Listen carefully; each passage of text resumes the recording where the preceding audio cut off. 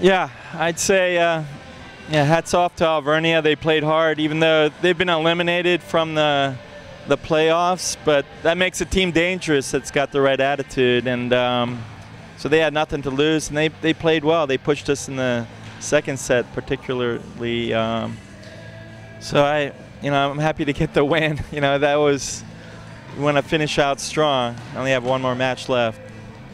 Well.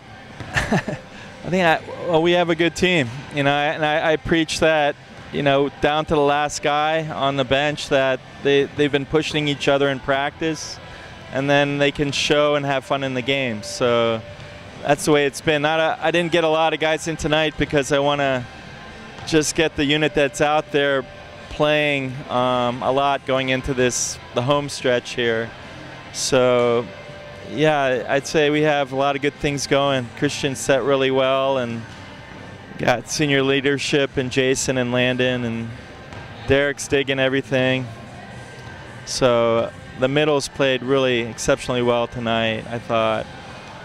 So anyway, I'm, I'm really happy on the performance and uh, just got to keep it going. I, I, this win record, I wish we had lost somewhere, you know, it's like, but uh, yeah, it's always better to win.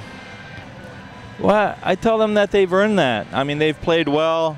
You know, right from the beginning, we had a really tough road schedule that kind of set set us up. Uh, you know, beating teams that ended up ranked high the start of the season, and then you know we had so many tri matches. I think if you look at it, we've probably played more matches than anybody. Uh, when we had a play date, I double them up it's my philosophy that that's where you learn. I mean, they learned some from me in practice, but it's when you're playing out there in the match that you really you really learn the game. So, and I get a chance to play the other guys too in a lot of those matches. So I think, you know, it's been a good year so far, but it's like all for naught if we don't, you know, keep winning here. So it's, uh, you know, I appreciate the polls. They're fantastic. You know, the, the coaches poll. That's and I compliment the guys on that because that is, you know, the other coaches. I'm not voting us number one, or I don't even have us uh, above five. I think, uh, but I, my philosophy there is that if we haven't beaten somebody,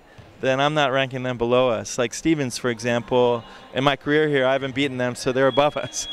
But you know, in the coaching poll, they, they fell. So anyway, you know, that's it's nice. It's nice to be recognized in that way.